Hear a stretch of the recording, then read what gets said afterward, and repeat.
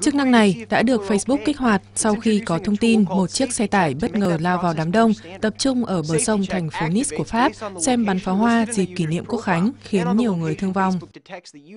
Khi có thảm họa xảy ra ở một nơi nào đó, Facebook sẽ đối chiếu giữa dữ liệu vị trí của người dùng với nơi xảy ra thảm họa, sau đó kích hoạt Safety Check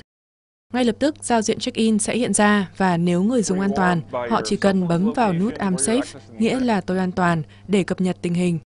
Trạng thái này ngay lập tức sẽ được hiển thị lên timeline của họ.